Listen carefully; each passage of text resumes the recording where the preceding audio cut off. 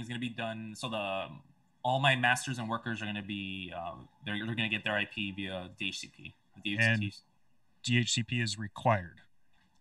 for IPI, correct? Yes. Right. So DHCP. So once we're since we're doing vSphere IPI, DHCP is required um, for uh, you- for can you- installation. Can you say that again, just just to reiterate? Okay. So if you're doing a vSphere IPI installation, DHCP is required. I, I'm, I say that tongue in cheek because I think we Yeah. get asked that I don't know a dozen times a day. Do Seven. you want me to type that in chat? Just in Yeah, case yeah, people you might you, you might want to have a, a a command, a bang vSphere IPI, and, just have it, and just have it posted up. no, no, it'd Um, just be we're just- Bang Andrew. yeah. any- Bang Andrew, that's right. Yeah.